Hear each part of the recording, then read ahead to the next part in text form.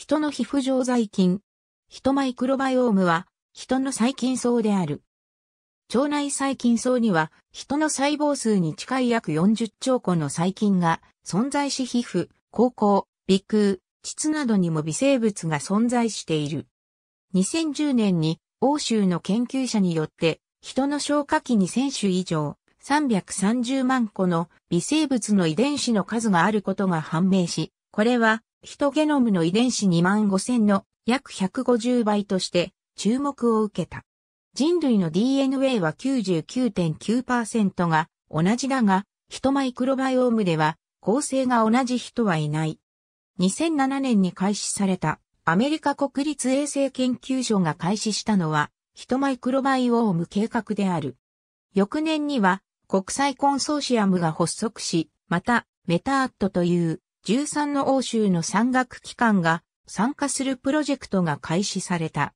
地球上には約70問の菌種があるが、人上細菌の大部分は以下4問に集中している。TM7 問は高校にのみ存在する。乳児では大人の1、3から1、5である。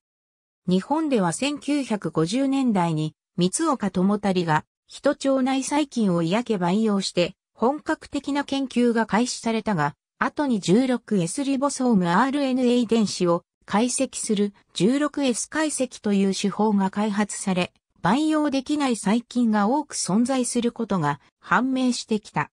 2003年頃にはメタゲノム解析が開発され、細菌層のゲノム全体を解析するようになり、2010年代では2000年頃よりも数万倍の性能となり、研究を進展させてきた。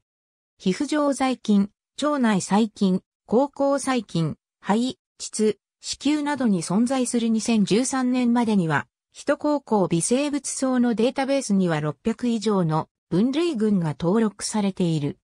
口腔の健康を防衛するように働く菌を食品で、あるいは錠剤やトローチで摂取するといった研究は数十研究が実施されており、右食、歯肉炎や歯周炎、口内炎、口臭との関係を見ている。両親の口でおしゃぶりをきれいにした方が、乳児のズダや湿疹が少なくなるという研究結果も存在する。フランスでの研究は、プロバイオティクスの健康食品が抑うつを低下させたという結果が報告した。